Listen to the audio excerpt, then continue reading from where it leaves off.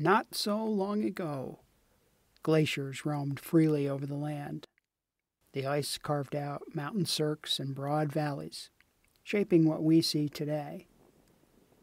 Then came the water. Huge amounts of meltwater flowed in rivers and filled immense lakes. Those were real winters, not the pale imitations that we experience.